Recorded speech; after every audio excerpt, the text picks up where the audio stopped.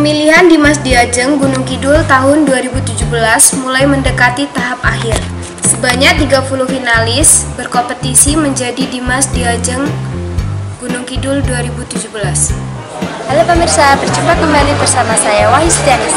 Saat ini saya berada di Warung Simbok Desa Logandeng. Eh, Seperti yang kita lihat eh, di belakang saya eh, baru ada acara konferensi pers eh, dalam rangka final finalis eh, Dimas Diajeng Kabupaten Gunung Kidul. Berikut laporannya. Menurut Diajeng Gunung Kidul terpilih 2015, Safa mengatakan pemilihan Dimas Diajeng Gunung Kidul tahun ini lebih kompleks dan lebih lama. Ini bisa dilihat pemilihannya sudah dilaksanakan sejak 1 Mei hingga 30 Juni 2017. Lalu dengan di awal berjumlah 100 orang, yang sekarang hadir di rumah makan Simbo ini sebanyak 30 orang finalis yang akan memperebutkan gelar Dimas Diajeng pada tanggal 16 September 2017 mendatang. Adapun seleksi yang dimulai dari seleksi administrasi, wawancara hingga tes kemampuan pengetahuan umum baik tentang wisata, seni budaya, dan panganan lokal di Kabupaten Gunung.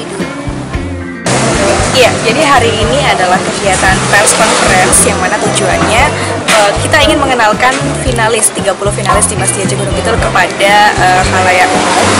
Terutama eh, karena di sini akan diliput banyak media. Nah, di sini kami ingin mengenalkan inilah finalis di Mas Diajeng Gunung Kidul yang nantinya akan menjadi representasi daerah Kabupaten Gunung Kidul. Untuk tujuannya sendiri Mbak dari eh, acara Dimas Diajeng ini Ya, harapannya eh, pemilihan Gunung Kidul ini dikenal oleh banyak orang dan nanti juga ketika grand final atau malam penobatan Gunung Kidul pada tanggal 16 September bisa dihadiri oleh eh, masyarakat umum. Nanti akan diadakan di Gorsiono tanggal 16 September 2017. Mbaknya di sini eh, mengikuti kegiatan apa? Eh, di sini saya masih sedang mengikuti kegiatan press conference untuk eh, finalis Dimas Diajeng. Mbaknya dari mana? Saya dari Kedangsari. Dari Kedangsari ya. Untuk Kedangsari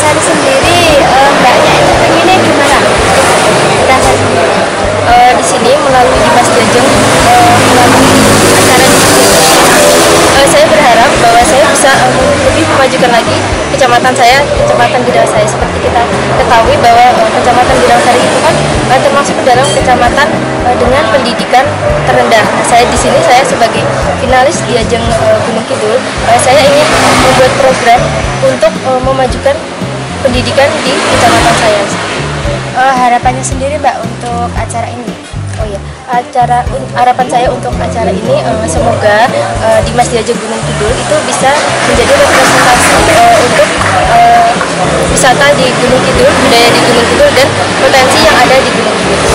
harapannya untuk acara ini adalah munculnya dari Kabupaten Gunung Kidul bahwa Gunung Kidul